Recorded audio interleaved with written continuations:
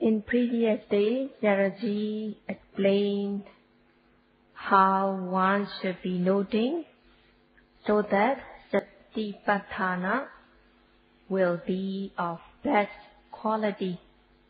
And there is still explanation left to be explained together with the examples, but Jaraji will not explain further.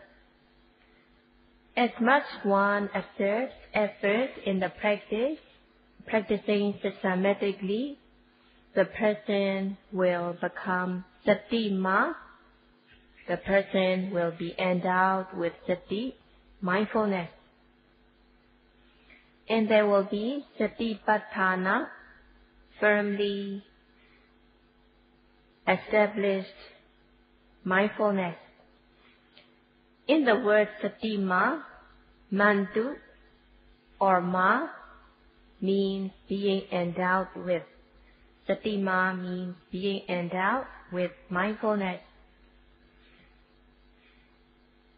The person is not endowed with sati, mindfulness in ordinary way, but the person is endowed with sati extremely like a person who has material wealth,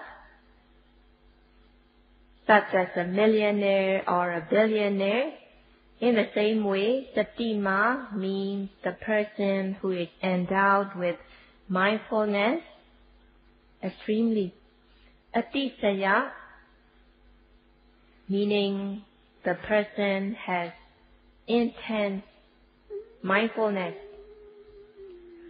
in order that the mindfulness arise, there are supporting cause that are distant as well as the supporting cause that are immediate.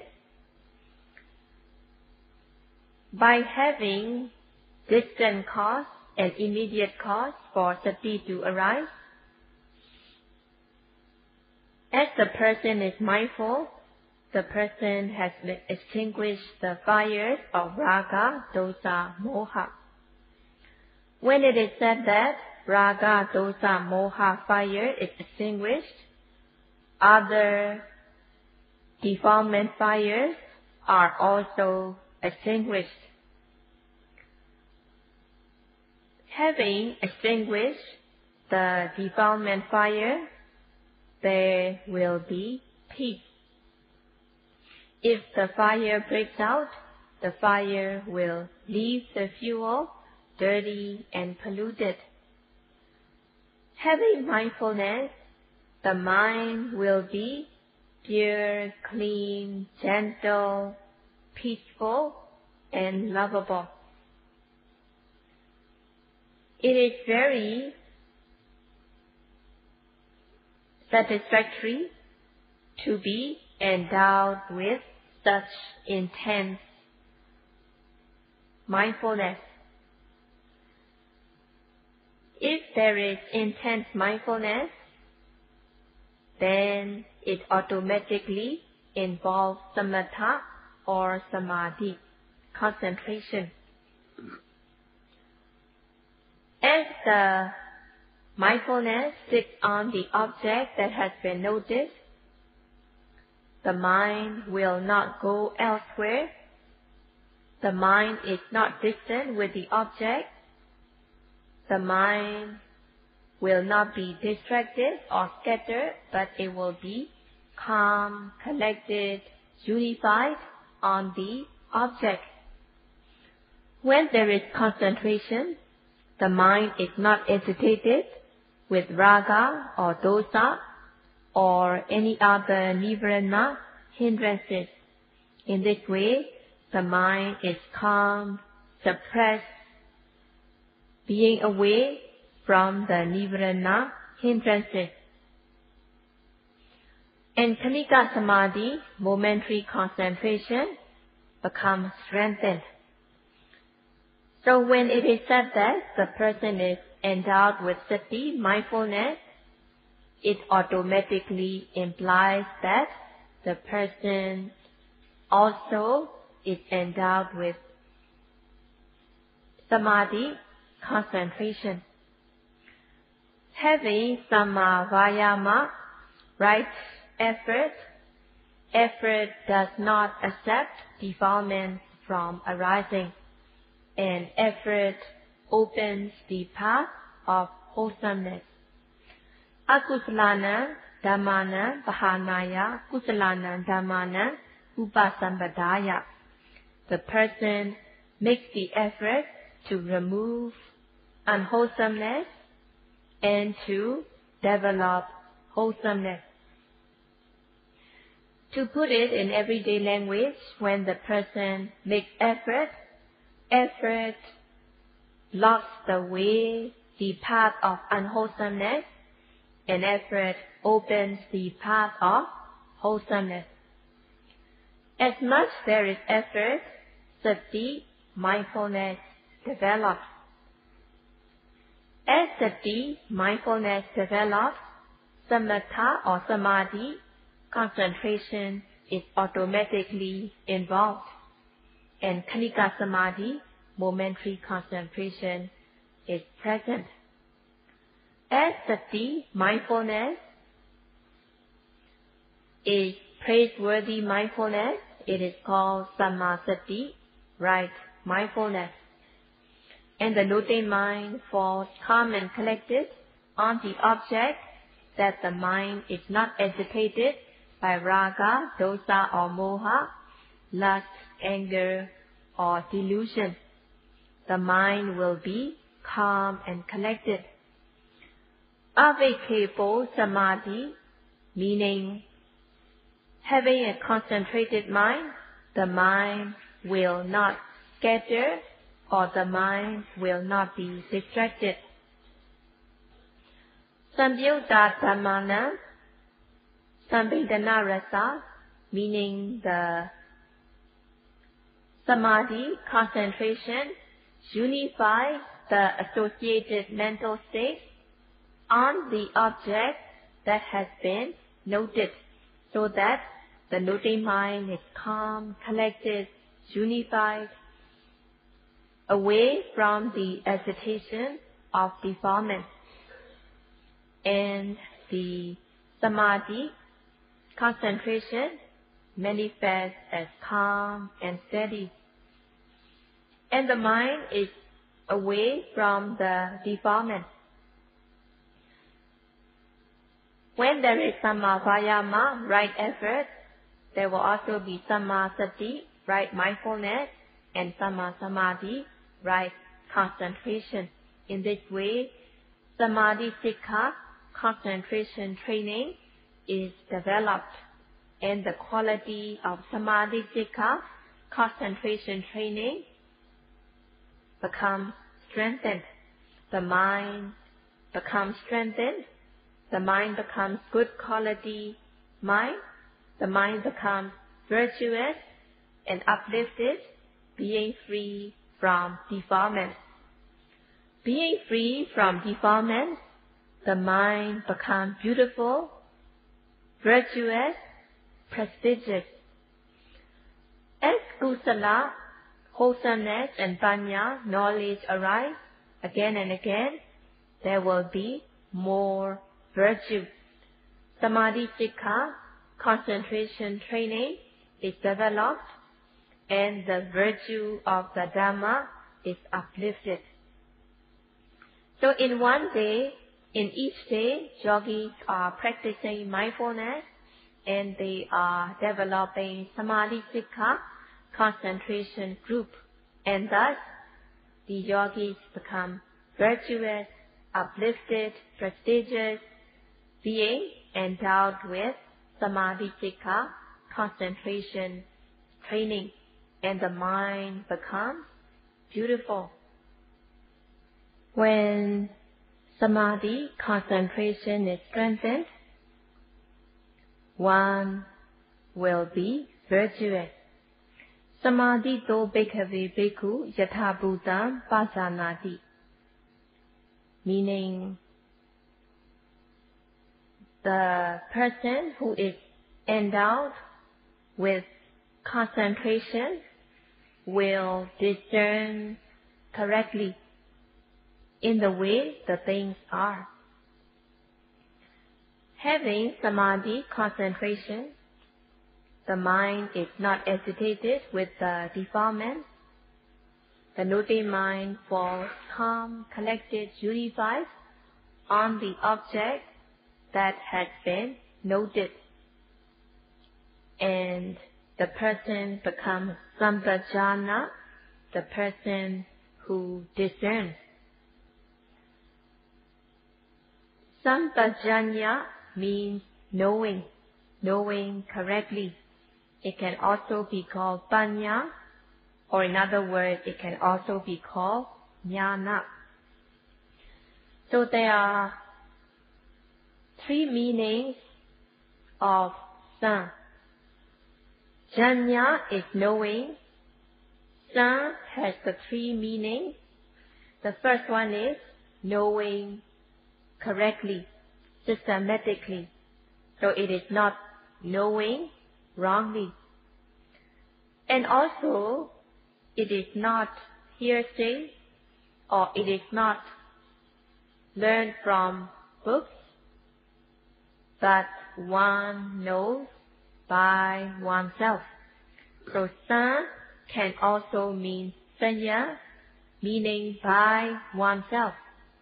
Yogi who practices comes to discern by oneself.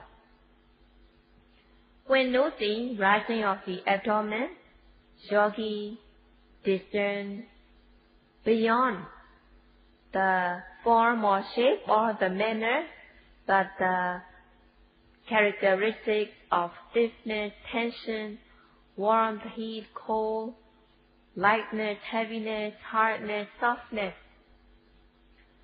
And also, yogi discerns when noting, seeing, hearing, smelling, tasting, touching, and other various objects.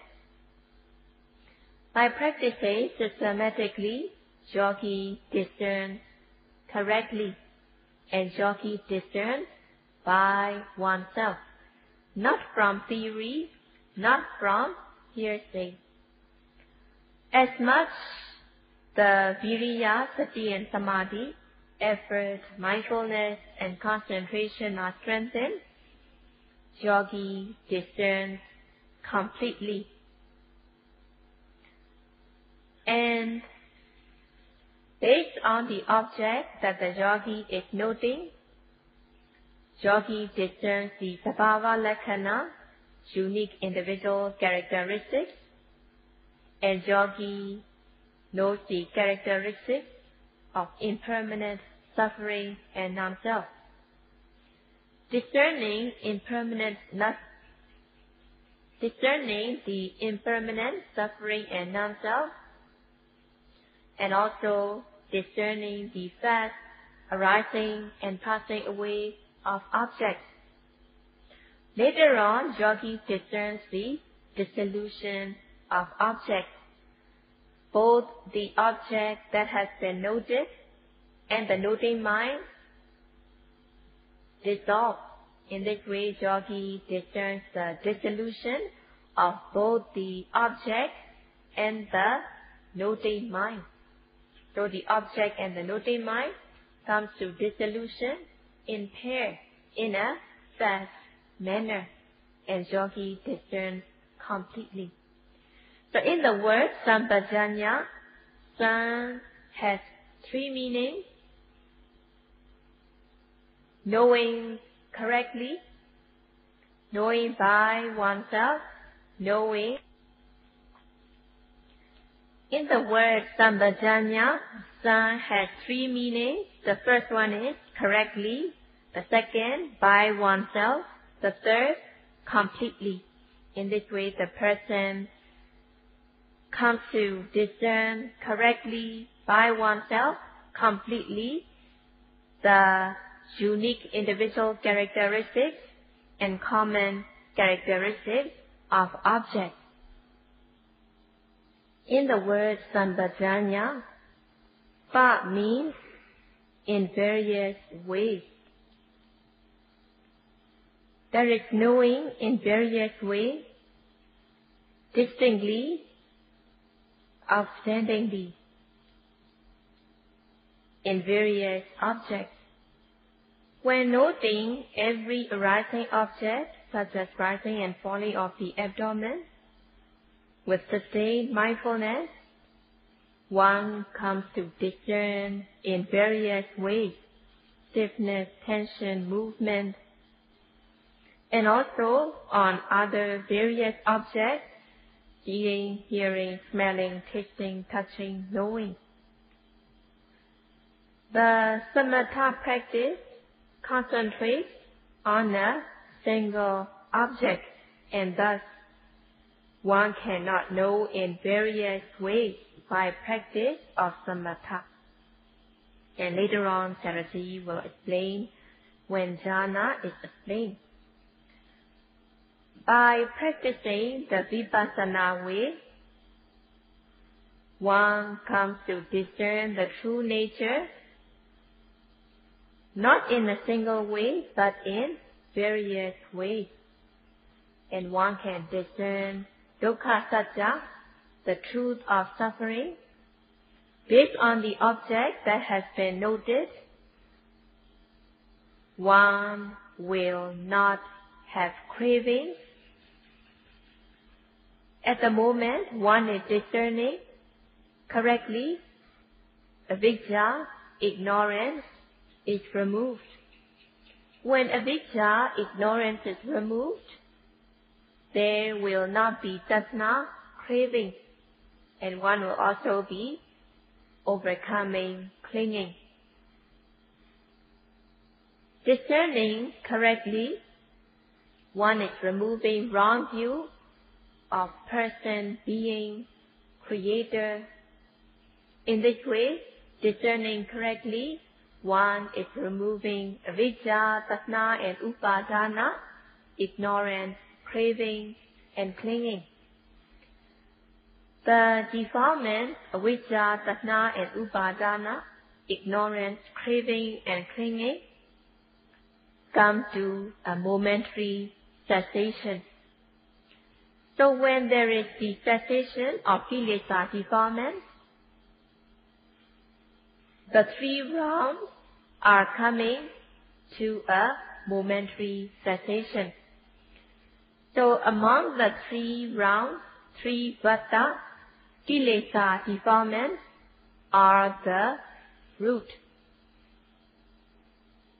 By removing kilesa vata, round of defilement, kama vata, the round of deeds, and vipaka vata, round of resultants, will also be removed.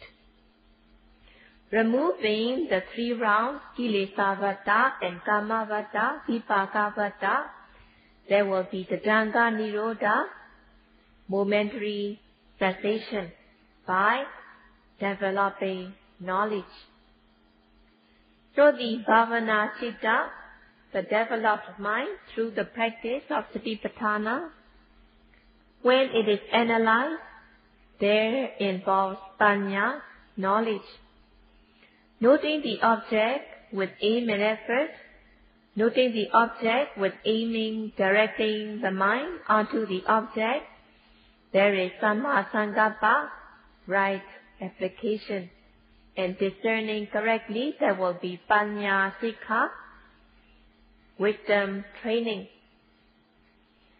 So in the noting when one develops knowledge, there involves the three trainings, sila, samadhi, and panya, morality, concentration, and wisdom. And there will be eight factors of the path. So in the noting that the yogi is noting, when knowledge arises, there will be all eight factors present eight factors of the path, which is the three trainings, Sila, Samadhi, and Panya, and which is Sasana, the teachings of the Buddha. By being mindful, by discerning, there will be the Upabagamagga preliminary path, that is, preliminary to the Ariya Magga. Discerning the Sabhava Lakkhana and Samanya Lakkhana, unique individual characteristics and common characteristics distinctly, Panya, knowledge develops. And when Panya, knowledge develops, other factors of the path will also be fulfilled. And through the practice of vipassana, one discerns in various ways. The practice of samatha does not discern the characteristics. But by the practice of vipassana, one gains samadhi, concentration, as well as panya, knowledge. One discerns distinctly, clearly, outstandingly, and it is not through theory, or it is not hearsay, or it is not from teacher. By practicing Satipatthana way, one is mindful of the presently arising object systematically, and thus one discerns correctly, outstandingly, distinctly in various ways. Pachanya means knowing outstandingly, and the word Sampajanya is used. The word Sampajanya complies with the practice, and it is very nicely used it is very, it complies according to the practice. Pa means pakara in various ways. So there is knowing of the various ways, knowing various objects, nama rupa, in its sabhava lakkhana, unique individual characteristics, and samanya lakkhana, common characteristics. So it is not the Suttamaya Jnana, theoretical knowledge, or Chintamaya Jnana, intellectual knowledge. It is not theoretical knowledge, or it's not the knowledge gained from teachers, but it is the outstanding knowledge If the word sampajanya is rendered, there are six meanings. Sa meaning correctly, pa meaning variously. So the meaning of sampajanya means knowing the nama rupa correctly, variously.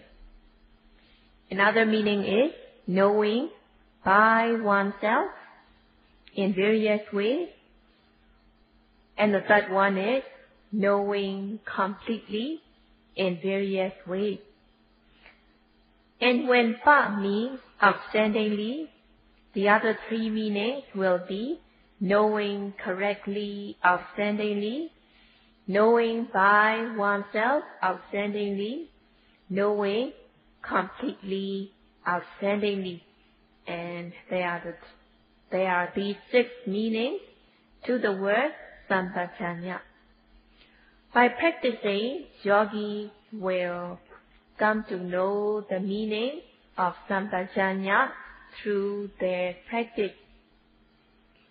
Even though they may not be able to explain, but they know the meaning of sampajanya through their experience of practice. Buddha used the word sampajanya where the word is very concise and meaningful. By the practice of satipatthana, yogi discerns the meaning of sampajanya. In satipatthana udesa,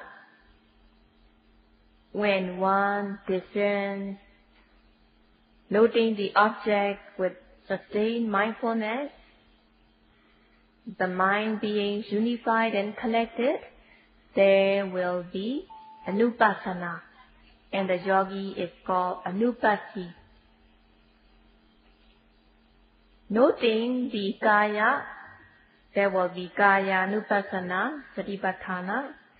Noting the feelings and sensations, there is vedana anupassana, satipatthana. Noting thoughts, imagination, citta anupassana, satipatthana. And noting other general activities such as seeing, hearing, smelling, tasting, touching, is Dhamma Nupassana Satipatthana. So based on the object, the Nama Rupa, if one is not mindful, the defilements, avijja, covetousness can arise and domanassa, dissatisfaction with this dosa, aversion can arise. Discerning correctly, one removes not knowing. So when satipatthana develops, the defilement, lobha, dosa, moha, will be removed based on the object that has been noted. By noting the object, discerning the sabhava lakkhana, unique individual characteristics, and samanya lakkhana, common characteristics, one will be removing avijja, tanha, and upadana, ignorance, craving, and clinging. And later on, Chatterjee will explain how jhana is developed and not being able to remove kilesa defilements, the karma and vipaka, deeds and the resultant, will not be removed.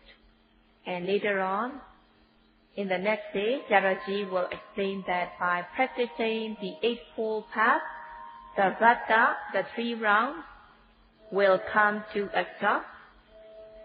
And failing to practice the Eight Noble Path, the three rounds will not be stopped. And this will be all for today.